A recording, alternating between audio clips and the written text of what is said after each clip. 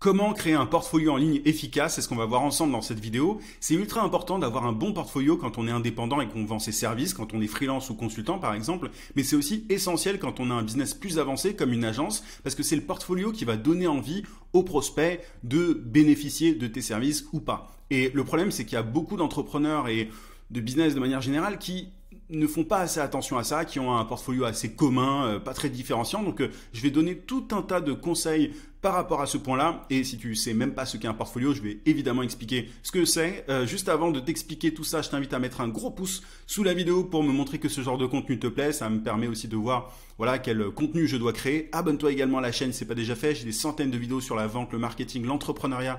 Donc ça va te plaire. Et active la cloche de notification aussi pour ne pas rater mes prochains contenus. Je publie une vidéo par semaine. Et toute dernière chose, une fois que tu auras regardé cette vidéo jusqu'à la fin, bien sûr, si tu veux aller encore plus loin, si tu veux euh, développer ton business, euh, simplement le faire passer au niveau supérieur. J'ai ce que j'appelle des emails secrets, c'est ma newsletter quotidienne. Tu as le lien d'inscription en description. Tu peux aussi cliquer sur le i en t'inscrivant. C'est très simple, tu vas recevoir chaque matin à 9h un email rempli de conseils, de méthodes, d'astuces pour trouver plus de clients et pour facturer tes services à des tarifs premium. C'est pour les coachs, consultants, formateurs, freelance, bref, pour toutes les personnes qui vendent leurs services. Il y a plus de 15 000 entrepreneurs qui sont déjà inscrits à l'heure actuelle. Donc si tu es ambitieux, motivé, que tu as envie de faire passer ton business au niveau supérieur, c'est vraiment là que ça se passe. YouTube n'est que la partie visible de l'iceberg. Mon meilleur contenu se trouve dans ces emails secrets. Donc euh, si euh, tu as envie d'aller plus loin, si tu es euh, motivé, parce qu'il faut avoir envie de recevoir ces emails tous les jours, clique sur le lien en description ou sur le i.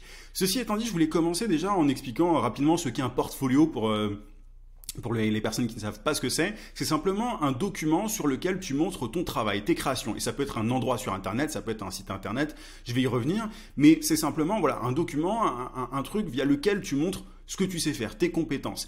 Euh, par exemple, les graphistes ont la plupart du temps, enfin, les bons graphistes ont un portfolio. Tu vois, il y a quelques jours, j'avais besoin de quelqu'un. J'ai euh, contacté différentes personnes en regardant leur portfolio. Euh, donc, c'est très très courant dans les métiers créatifs, visuels. Tu vois, les photographes aussi doivent avoir un portfolio. Quand on est CM, community manager, même si c'est pas un métier où on se dit ouais c'est un métier purement créatif, ben le CM, le community manager, doit aussi avoir un, un, un, portfolio pour montrer simplement ce qu'il ce qu'il sait faire, ce qu'il ce qu'il a déjà fait, etc. C'est vraiment pas juste les métiers créatifs. C'est connu pour euh, pour être euh, essentiel quand on a un métier euh, créatif du style photographe, illustrateur, etc. Vidéaste. Mais c'est aussi important, voilà, simplement pour pour montrer qu'on peut avoir des résultats. Tu vois, pour des métiers plus techniques comme je sais pas un consultant CRO qui est qui est un, qui est un consultant qui va optimiser les conversions sur des sites internet. C'est aussi important d'avoir un portfolio. Là pour le coup, il sera pas essentiellement visuel, il sera pas purement, euh, purement visuel, mais il pourra montrer dans le portfolio les résultats qu'il a obtenus pour tel et tel client. Donc euh, voilà, un portfolio, c'est simplement un document ou un endroit euh, dans lequel on montre ses créations, son travail, ses compétences, ses résultats, quoi. Des, preuves concrètes qu'on est la bonne personne pour aider notre client. donc ça, c'est pour la petite définition. Maintenant, voilà, l'intérêt, c'est vraiment de montrer concrètement au prospect ce qu'on sait faire. Tu vois, quand tu échanges avec un prospect, euh, bah, forcément, si tu es graphiste, par exemple, ben, tu vas pas prendre le prospect au téléphone sans lui montrer en amont euh, ce que tu fais. Parce que sinon euh, tu vas avoir tu vas passer du temps au téléphone avec un prospect avec quelqu'un et ensuite il va te demander oui est-ce que vous avez des exemples de s'il a pas regardé ton site internet ou autre par exemple si tu as une présence en ligne il va te demander est-ce que vous avez des, des, exemples concrets à montrer etc et si tu le fais après coup, après l'appel téléphonique, bah, il peut très bien ne pas apprécier et finalement euh, tu perds du temps au téléphone avec quelqu'un euh, que tu aurais pu éviter. Donc la meilleure chose à faire, c'est, euh, tu vois, quand on a un métier vraiment purement visuel, créatif, c'est de, de, donner le portfolio avant l'échange téléphonique. Mais c'est vraiment le, meilleur moyen de convaincre des, des clients potentiels voilà, il s'agit de montrer ce que tu sais faire, à quel point ton travail est original, est joli, euh,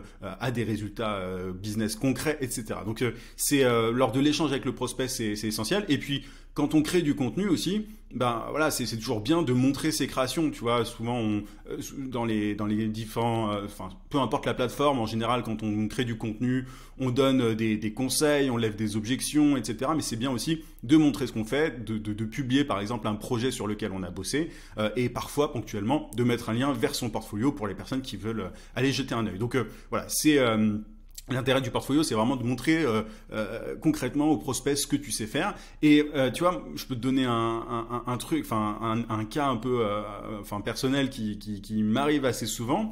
J'ai des prospects aujourd'hui, qui, enfin des prospects, pardon, justement des, des personnes qui me prospectent, des graphistes, des rédacteurs, etc., et qui ne me donnent pas leur portfolio. Et à chaque fois, je me dis, mais comment est-ce qu'elles pensent, elles croient que je vais me faire une idée de leurs compétences? Enfin, tu vois, j'ai des graphistes parfois qui m'approchent, qui me disent, ouais, je peux t'aider à faire ceci, cela. Mais le truc, c'est que quand tu as un métier purement visuel comme ça, il faut montrer que tu sais euh, de quoi tu parles, que tu as déjà bossé avec quelqu'un euh, par le passé, euh, tu vois, euh, similaire à ton prospect. Enfin, voilà. Donc, c'est essentiel le, portfolio, surtout pour les métiers créatifs, mais pas que. Encore une fois, même si tu as une agence de génération de leads sur Google, bah, il faut aussi avoir un portfolio. Là, pour le coup, encore une fois, ce sera pas un portfolio purement visuel, mais tu montreras dedans ce que tu sais faire, voilà, quels résultats tu as obtenus pour tes anciens clients, etc. Mais tu vois, c'est impossible aujourd'hui de démarcher des gens sans leur montrer le portfolio parce que c'est, c'est voilà, c'est ce qui différencie en fait quelqu'un qui affirme être compétent et quelqu'un qui, qui, le prouve quoi. Voilà. Donc ça c'est euh, c'est l'intérêt. Maintenant il y a tout un tas d'outils pour créer un portfolio. Je vais parler de, des outils rapidement et ensuite je vais te donner des clés pour rendre ton portfolio efficace parce que les outils c'est facile. Il suffit de, faire quelques recherches et on, les trouve. Mais grosso modo tu peux tout à fait faire ton portfolio sur un site internet en fait tout à fait normal tu as des thèmes WordPress qui sont qui existent, qui sont très bien, euh, qui te permettent euh, d'avoir une section portfolio. Si tu es sur Wix, euh, pareil. Si tu es sur Webflow, tu peux tout customiser, tu peux tout personnaliser et, et, créer un, bon portfolio. Enfin voilà, tu peux tout à fait utiliser ton site internet. C'est ce que font beaucoup de gens. Maintenant, t'es pas obligé. Tu as des outils qui sont dédiés à la création de portfolio en ligne. Par exemple, tu as Behance, tu as Adobe Portfolio, tu as Dribble, tu as Cargo, je me les suis noté, tu as CarbonMate, tu as Portfolio Box, qui sont des outils très connus qui te permettent de de créer un portfolio en quelques clics. Je te mettrai les liens en description. Et voilà, donc euh, qui te permettent d'avoir un portfolio sans même avoir de site internet. Donc c'est la solution de facilité si tu n'as pas envie de te créer un site euh, pour le moment. Et il y a même certaines personnes qui utilisent leur réseau social, euh, tu vois, comme Instagram, pour pouvoir montrer leur création, pour pouvoir montrer ce qu'ils savent faire. Donc, euh, tu as différentes possibilités. Soit tu euh, utilises un site internet et euh, sinon tu, utilises un outil dédié ou alors simplement un compte Instagram. C'est un truc qui se fait aussi. Le plus pro, c'est toujours d'avoir quelque chose de dédié ou un site internet, mais il y a des personnes qui utilisent aussi Instagram, parfois en complément de leur portfolio existant. Mais voilà, en tout cas, pour les outils, je te mettrai tout ça en description, mais c'est pas bien compliqué. Maintenant, les clés pour avoir un portfolio en ligne en béton, il faut évidemment que ton portfolio soit visuellement attractif et cohérent. C'est-à-dire que il faut que les images soient de très bonne qualité, ça va de soi, mais c'est pas toujours le cas étonnamment. Euh, et il faut faire attention à ce qu'il soit, tu vois, facile à consulter euh, ton, ton, ton, portfolio. Il faut pas que ce soit une espèce de galère. Tu as souvent des créatifs qui vont avoir tendance à, à faire un truc très original, mais pas très, euh, pas très pratique, notamment sur leur site internet. Tu vois, as des, quand tu scrolls, c'est un peu galère, on comprend rien. Donc il faut que le portfolio soit beau, cohérent et, facile, tu vois, à, consulter en fait. Un autre point, c'est de réfléchir à comment être unique. En fait, l'idée c'est de mettre tes meilleures créations dans ton portfolio, pas toutes tes créations, euh, parce que voilà, il y a sans doute certaines de tes créations qui euh, ben, ont plus de gueule en fait que les autres. Tu vois, il y a quelques quelques temps, je, je devais choisir euh, entre deux graphistes et en fait, euh, le graphiste que j'ai choisi, c'était pas le moins cher, c'était simplement celui qui avait un, un, portfolio avec des créations qui ressemblaient à ce que je voulais.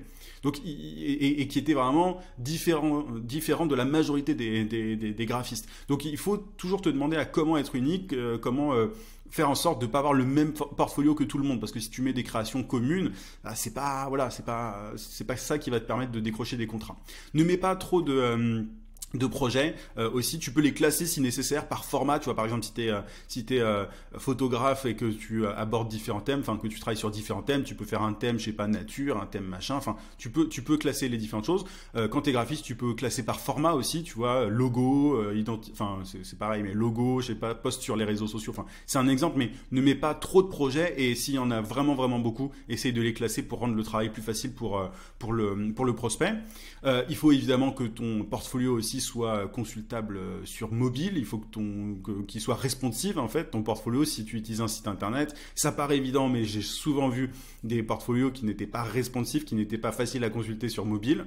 La structure doit aussi être claire pour ton portfolio, c'est-à-dire que ce qui est bien, c'est euh, de faire, ce qui est bien de faire, c'est un avant-après. Tu vois, en gros, quelle était la situation de ton prospect avant euh, et ensuite, une fois que tu es intervenu, quelle était sa situation? Ça, c'est plus pour les, portfolios où tu mets en avant un résultat, pas forcément des créations visuelles ou quoi, mais, euh, mais même quand tu es euh, graphiste, illustrateur et tout, tu peux tout à fait, quand tu fais un redesign, par exemple, tu peux tout à fait montrer un, l'ancien logo de ton prospect et ce qu'il est devenu, enfin de ton client, et ce qu'il est devenu après ton intervention. Mais c'est toujours bien de montrer le avant-après. Quelle était la situation du, client? Avant ton intervention et, quelle est sa situation après. C'est le plus facile et c'est ce qui donne le plus envie en fait aux, clients potentiels de, faire appel à toi.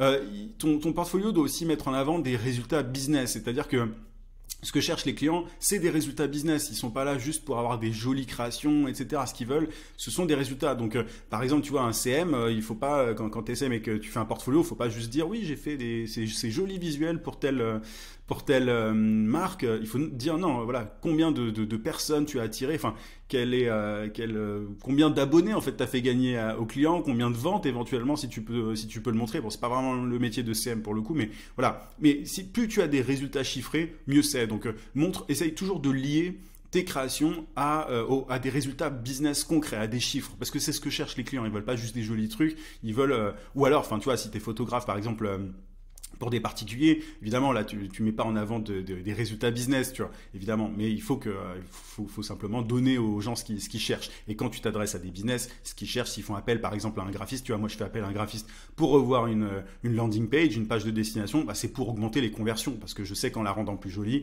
elle sera plus attractive elle donnera envie à plus de personnes de bénéficier de mes services. Tu vois, donc il faut garder ça en tête, il faut garder la finalité en tête. Fais un portfolio aussi par cible si nécessaire quand tu l'utilises pour prospecter. Par exemple, si tu prospectes euh, différents types de cibles, je sais pas, des e-commerce euh, et à côté, euh, j'en sais rien, des, avocats, je dis absolument n'importe quoi, bah fais un portfolio e-commerce et un portfolio avocat parce que si tu renvoies tout le monde vers le même portfolio et que dans ton portfolio un peu de tout et n'importe quoi, bah le prospect va, va, enfin le voilà, il va pas, il va se dire mais ok, mais c'est pas adapté à moi, il bosse pour euh, ou elle bosse pour euh, pour tel type de cible, tel type de cible, euh, c'est voilà, c'est pas une personne qui est qui adaptée, enfin qui, qui, qui va me comprendre ma problématique, etc. Alors que si tu fais un portfolio par cible et que tu envoies, tu vois, aux avocats ton portfolio avocat, aux e-commerce ton portfolio e-commerce, tu vas avoir forcément beaucoup plus de, de conversion. Mets à jour aussi évidemment ton, ton portfolio régulièrement avec des nouvelles créations, essaye de voir quelles sont les meilleures, quelles sont celles qu'il faut enlever, quelles sont celles qu'il faut ajouter, etc. C'est un travail euh, constant en fait. Hein. Ton portfolio, il faut sans arrêt l'améliorer. Euh, modifie aussi ton portfolio en fonction des feedbacks des clients, si tu as des, enfin, des clients potentiels et des clients d'ailleurs. Mais quand tu as des gens qui te font des retours sur ton portfolio en mode ah ça j'ai pas compris ou quand on te demande des précisions sur des trucs, bah essaye de, de, corriger en fait simplement pour rendre ton portfolio le plus solide possible et évidemment, la dernière clé pour moi, c'est quand même d'inclure un appel à l'action, euh, différents appels à l'action dans ton, dans ton portfolio si tu le peux, mais sinon, si, si tu devais en mettre qu'un, c'est à la fin. Mais il faut mettre un appel à l'action, euh, mets clairement en avant tes coordonnées ou alors simplement une façon de te contacter parce que c'est c'est bah, c'est important. C'est à ça que sert le portfolio. Où tu peux pas juste mettre euh, tes, créations et ensuite euh, ou ton travail et ensuite euh, voilà ne pas donner de moyens de te contacter ou de bosser avec toi. Ce serait un petit peu dommage.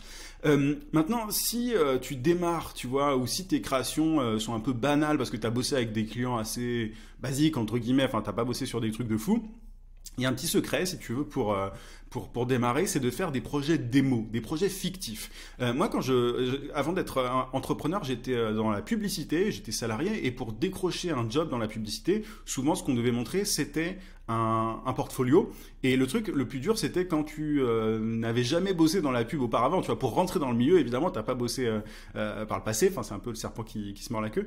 Et, et en fait, ce qu'on nous recommandait de faire, c'était de, de faire des projets fictifs. Donc, tu vois, moi, j'imaginais que je devais bosser pour telle marque. J'imaginais un brief et je faisais des alors moi, je n'étais pas graphiste ou quoi, mais je devais réfléchir à des concepts et à des, des slogans, enfin des accroches et, euh, et en tant que concepteur rédacteur. Et du coup, tu vois, j'ai réussi à rentrer dans le milieu de la pub comme ça, grâce à des, projets fictifs. J'ai inventé euh, des briefs. En fait, j'imaginais que je bossais pour telle et telle grande marque, et ça me permettait de montrer en fait mes compétences sur de jolis euh, projets, sur de jolis briefs, même si ça n'était pas des, vrais briefs. Évidemment, il faut le dire, hein, tu vois, il faut pas cacher. Quand dans, dans, ton portfolio, si tu mets des projets démo, tu le mets en gros, tu vois, tu mets, enfin, tu le mets en tout cas, tu mets projet démo. ne fais pas croire que tu as bossé avec ces marques-là. C'est pas du tout le sujet mais les clients en fait s'en fichent que tu es bossé ou pas euh, pour ces marques-là, parce que tout ce qu'ils veulent voir, c'est le résultat, en fait, c'est qu'est-ce que ça donne, tu vois, par exemple, si tu refais... Euh, un logo du, d'une marque euh, avec laquelle tu n'as pas bossé en réalité, bah, ça peut quand même intéresser tes, prospects parce qu'ils peuvent se dire, OK,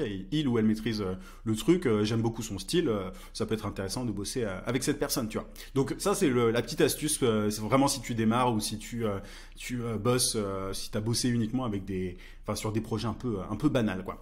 Voilà pour tous ces points, j'espère que ça t'a été utile, n'hésite pas à mettre un pouce si c'est le cas. si tu as des questions, n'hésite pas aussi à, me les poser en commentaire, j'essaierai d'y répondre euh, je te rappelle que si tu veux aller encore plus loin sur ce genre de sujet, si tu veux propulser ton business au niveau supérieur, euh, on a vraiment euh, fait qu'effleurer les choses. Tu as beaucoup plus de de contenu pointu dans mes emails secrets. Je te rappelle que tu as le lien d'inscription en description. Tu peux aussi cliquer sur le i. Je te souhaite plein de succès en tout cas dans ton business et je te dis à très vite. À plus.